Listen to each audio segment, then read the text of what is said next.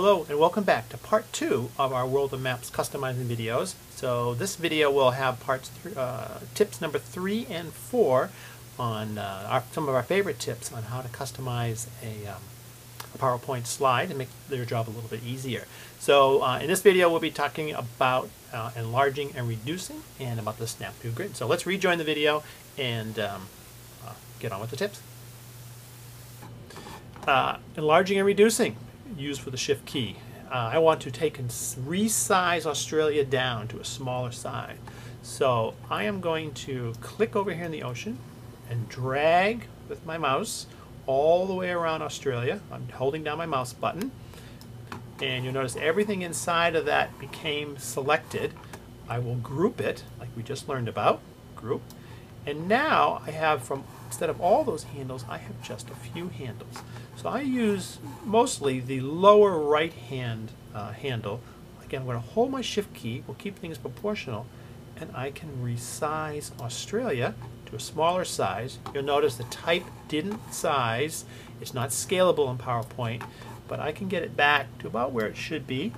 And I'm going to use my formatting palette. I'm going to just change that to 7, hit enter, and you notice the type moved to the right spot um, and now to the right size. One of the things that happens in PowerPoint that can that really messes people up is that the default of PowerPoint is that there is a grid that underlying that lies under each slide. It's called the snap to grid. And it is located usually, not always, different versions of PowerPoint are different, but in the draw pop-up menu, you'll see right here, snap to grid. Now I have it turned off. Let me turn it on, which is the default, and we'll show you what happens. I would like to pull out this section of Queensland, do something to it. Let's just give it a color. I'll make it blue. But now I'd like to try to put it back where it was.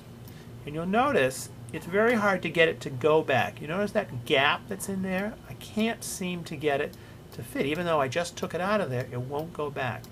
That's because snap to grid is on. So if I take and turn that off,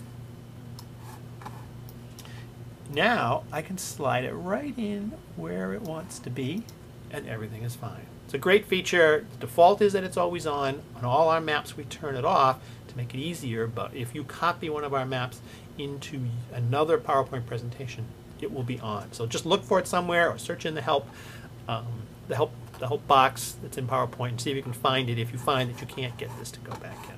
So, thank you for joining us today. This has been one of our how-to videos. Uh, this has been a two-parter. This is part two. We covered uh, enlarging and reducing and snap to grid. If you check out part one, uh, that's on using the shift key and grouping and ungrouping. So all of our maps, all of our PowerPoint and Illustrator maps are completely editable. Everything's a separate object. As you can see, we have US and world and globes and states and all kinds of stuff. So um, check those out. And um, you can also check out our blog and make sure you sign up right here. Um, sign up for our free mailing list. We send out free tips on uh, customizing, and uh, that's right there. Plus any news and stuff that's on our on our maps. So uh, check that all out. And uh, thanks for joining us. See you next time.